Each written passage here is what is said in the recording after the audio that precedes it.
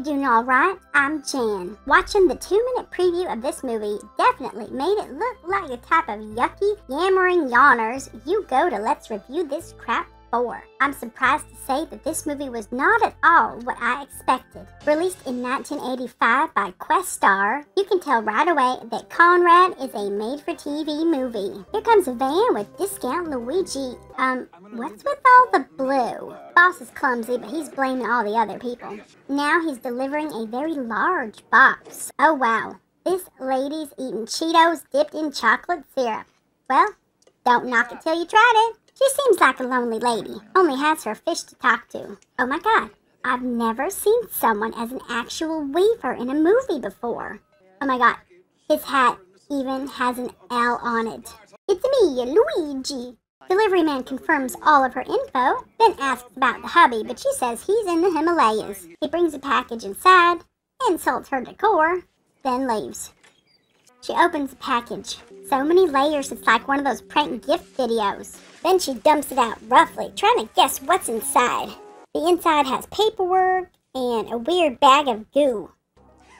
Holy shooby-doo, that's enough to give someone a heart attack. A voice recording starts to play, telling her to pour the nutrient solution on it. I love how the recording starts getting angrier. Oh lord, those effects. I can't tell if this is a horror movie or a feel-good movie.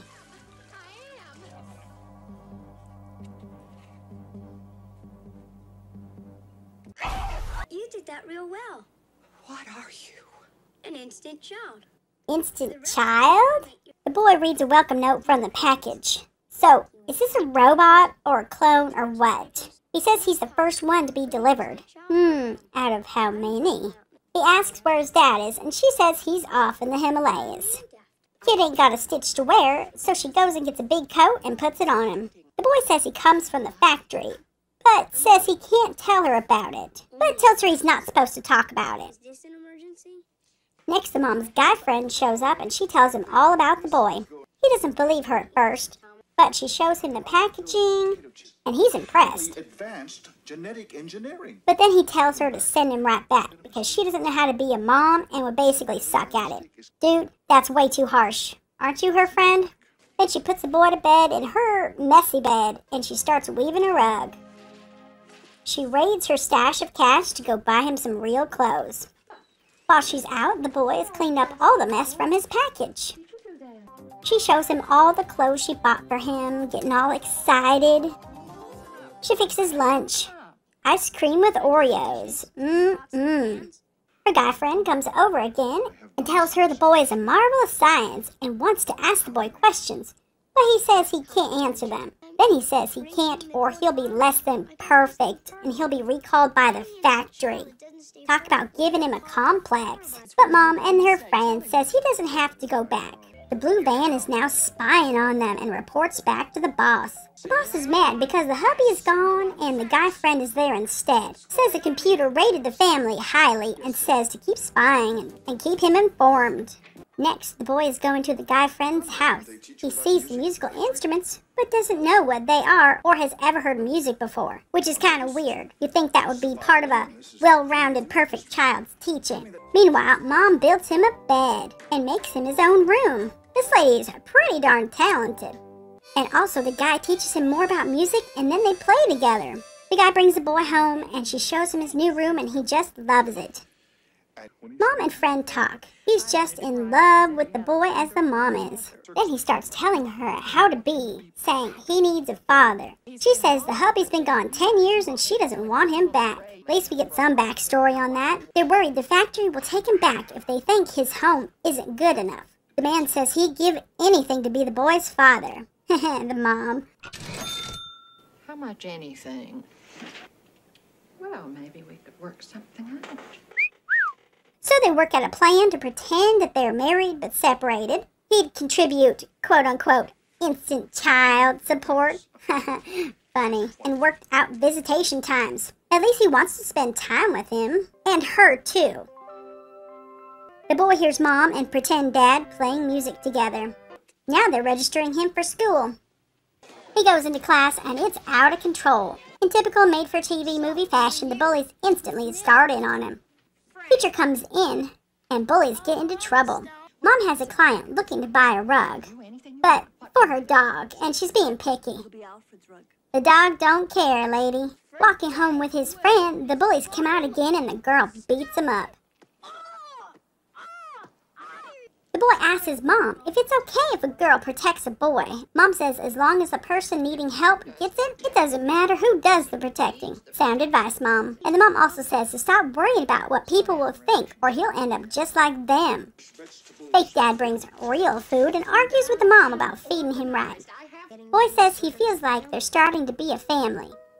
The next day at school, the kids are crazy again, and a window gets broken. I'm just saying, why is the teacher out of the classroom so much?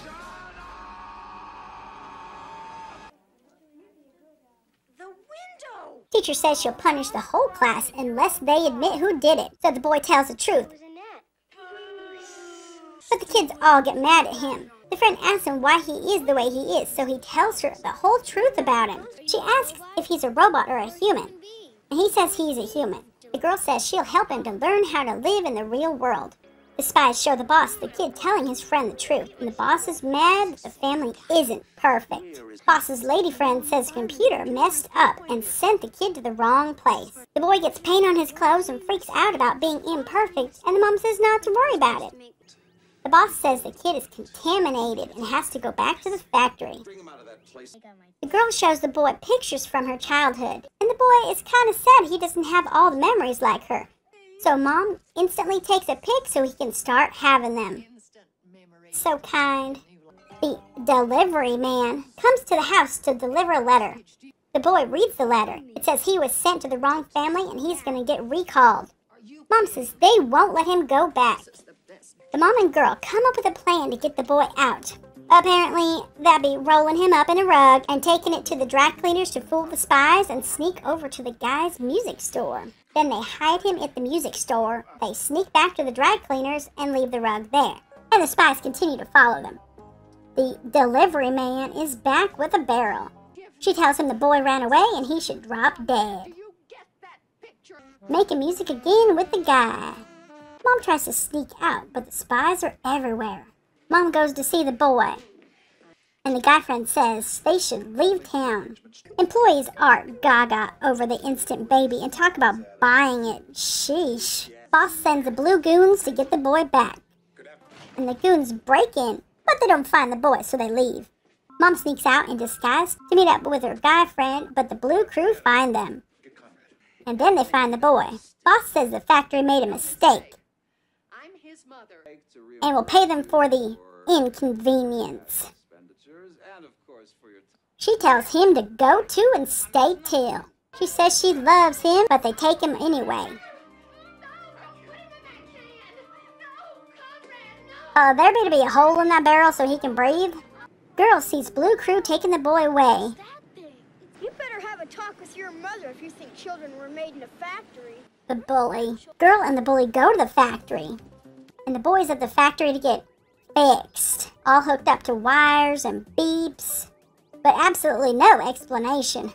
What in the fluff and stuff is he looking at now? Boss grills boy about perfection and the machine breaks. They're gonna recycle the boy?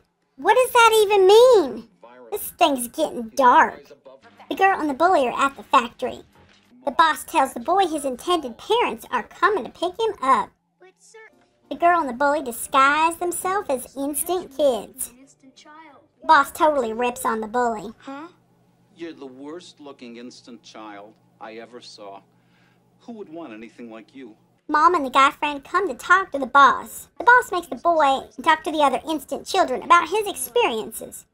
The intended parents come and hear him speak. And I have to tell you, The boy sees his friends in the auditorium.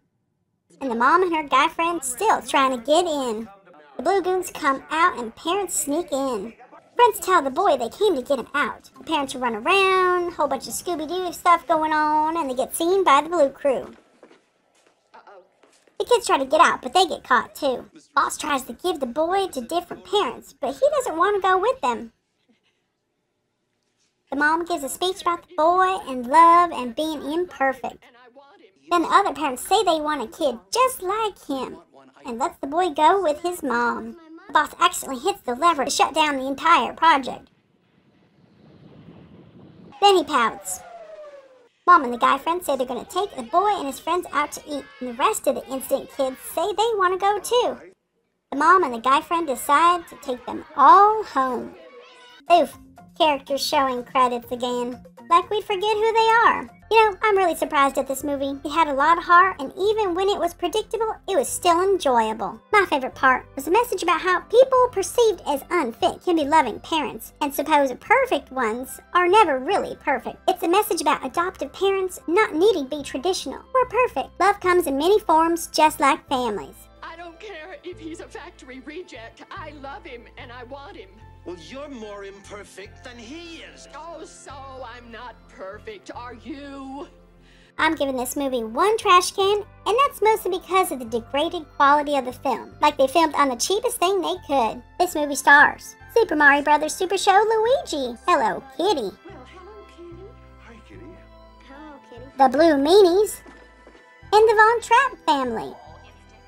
This movie contains probably the only movie containing a rug maker that isn't a documentary on rug making. Inappropriate workplace relationships, May I ask you a question? Yeah. How do you like my hair? I liked it blonde. the Fitness Gram Pacer test, and silly made up names for sciency stuff. It broke the Mooka finger anxiety monitor. You Know what kind of anxiety it takes to break a Mooka finger monitor? I don't know a lot. The Mooka Finger Anxiety Test. The Fitness Gram Pacer test is a multi stage aerobic capacity test that progressively gets more difficult as it continues. The 20 meter pacer test will begin in 30 seconds. The second time you fail to complete a lap before the sound, your test is over. Start.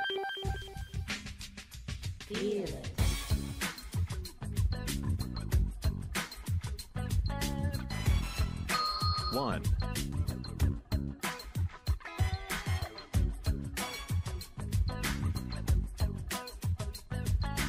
Two. Thanks for checking out the review of this surprising movie that's more about kinship than science. If you like what you see, please kindly drop a like, sub if you're not already, and comment on what movie you want us to do in a future episode. Till we meet again, cuz.